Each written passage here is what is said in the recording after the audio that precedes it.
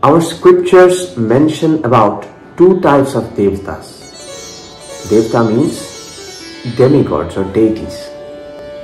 The first kind are anthropomorphic manifestations of the elements of nature. And the second type are the great personalities who have served and paved the path for the humanity in a greater way. So today we are going to look into the first part, the anthropomorphic manifestations of the elements of nature. Now, anthropomorphic means anthropos, that means human, and morphic means shape. Manifestations means manifestations or incarnate. So we humanize, our rishis humanized the elements of nature in human form so that they comprise of some qualities and those qualities are easily understood by us. For that they are given a certain manifestation, a certain story and a certain figure with which we can relate. And this has not been in, not only in our culture, this has been many ancient cultures that have passed the test of time. By elements of nature, I mean the water, the fire, the wind, they all are considered as devtas. Now, why to worship them? The term worship does not only mean to play a part. The worship actually means to worship, to carry the worth. The word puja, that is a little uh, translation of the term worship in Sanskrit. Puja came from the root word puj, that means shambardhana. Shambardhana means expansion or development. So anything that brings development needs puja. So puja is an activity by which development comes.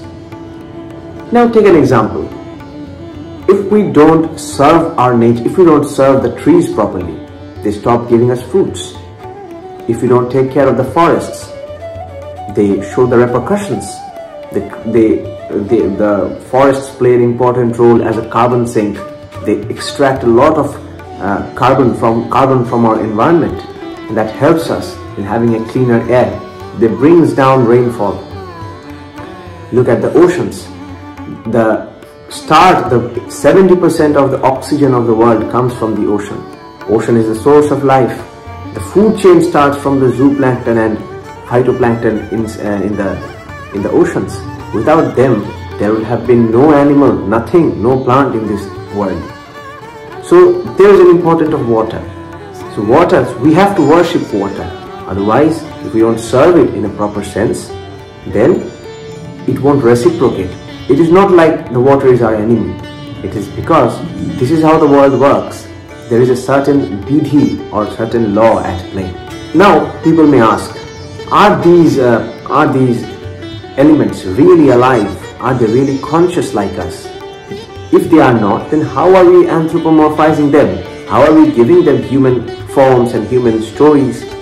To answer to that, I would ask them the same question that water, air, these things are made up of atoms and subatomic particles.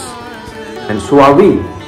If subatomic particles are not conscious at all, then they permutate and combine to form us. And they also permutate and combine to form the air, form the trees, form the rocks. Then how come we are alive and they are not?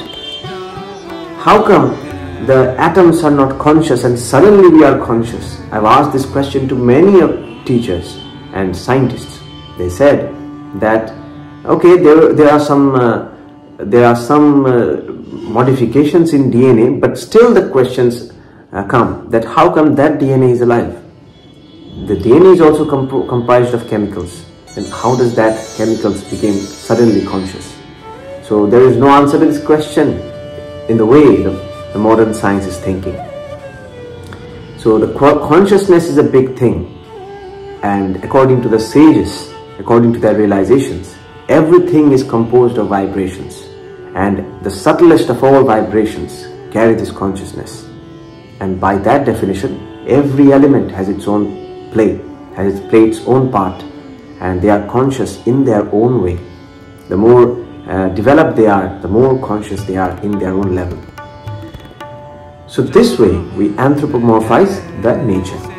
So fire, water, we all bow down to them because they serve us. They serve us in a great way. From time immemorial they are serving us. This is the beauty of the worship. Now there is a catch that uh, we know the qualities of fire. It can burn us, but it also helps us. Now, if a child touches the fire, it does not mean that his hand won't burn, won't get burned, just because she or he, he does not know the danger of touching the fire. This is how the law works. This is called the providence. My master says, Vidhi kintu noyko jani, noyko janto noy chital, Ishtanuk Vidta Ganir Gani Vidhi Niyantran. That means the Vidhiya law, the law itself has no conscience. It has no knowledge of itself. It is just as it is. It has both things. Just like if you see Lord Ma Kali, she has at one hand Morabhay or Ashirvad, grace, and on her other hand she carries the weapon. In the same level, what does that mean? That means you have to choose a path, right or wrong. And the nature will reciprocate in the same way. You just have to choose and nature will reciprocate that way. So this is how the elemental forms are worshipped as devtas in a very easy way. I hope these are understood. Now, which one to choose, how to choose, when to choose, we have to learn that from a man who has realized the same. These kind of personalities who have realized the elementals of nature, they are called guru because they know, they know the way and they teach us. Now this teacher can come in all varieties, in all levels. The greater their fulfillment is, the greater their realization is, the greater they are, the, the greater they are. And uh, Swami Vivekananda says, there are some teachers who are the teachers of all teachers, and they are actually called Purushottams, or fulfillers the best, or fulfiller the best. Such personalities come very rarely after hundreds of years or I don't know the time, but they come in their own necessity. And such a person is also called the living ideal in life. That kind of person has certain qualities and he is the Devatas of all Devatas. Just like in the stories of our scriptures we can see, just like in the stories of Puranas we can see that uh, all the Devatas when they are worried, they go to Lord Vishnu and ask for help the same place here because the, the God whom we call God are the fulfiller of all demigods. The Purushottam is the fulfiller of all the Purushas. So no matter what we do, at first we need an Acharya. Acharya. We first need an Acharya. Acharya means someone who shows me the path. And the Acharya of all Acharyas is the Purushottam, the greatest fulfiller.